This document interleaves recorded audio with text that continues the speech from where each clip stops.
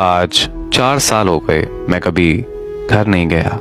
मैं अपने माँ बाप और बहन भाई से नहीं मिला। मैंने सब दोस्त भी छोड़ दिए थे।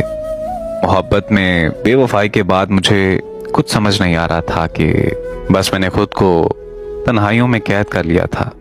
आज से दो साल पहले आए थे घर वाले मुझे ढूंढते हुए।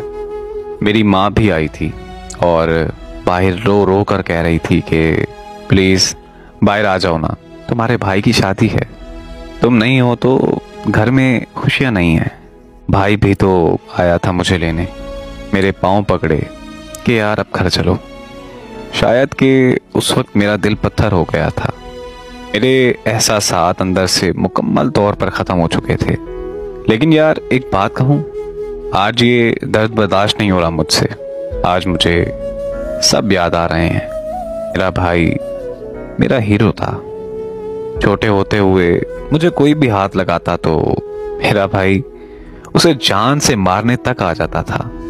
आज मेरी बहन जब भी मुझे उदास देखती है तो वो मेरी पसंद के खाने मुझे बना कर देती थी।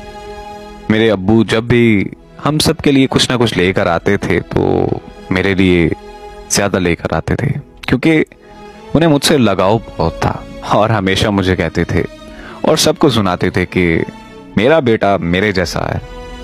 यार, मेरी एक भाभी भी तो है ना, जिनसे आज तक मैं मिला ही नहीं हूँ। पता नहीं उसे मेरे बारे में किसी ने बताया भी होगा या फिर नहीं।